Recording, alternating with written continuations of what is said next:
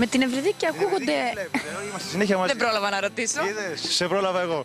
Με την Ευρυδίκη ακούγονται πολλά, γράφτηκαν πολλά. Είμαστε. συ- Κοίτα, δουλεύουμε στο ίδιο κανάλι. Ε, ε, έχουμε κάνει κάποιες κοινές εμφανίσεις γενικότερα, οπότε είναι λογικό να γραφτούν ε, ότι είμαστε ζευγάρι κτλ.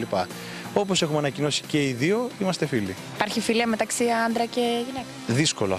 Δύσκολα υπάρχει φιλία μεταξύ άντρα και γυναίκα. Σε παράδειγμα, δηλαδή εσύ; Ίσως ναι.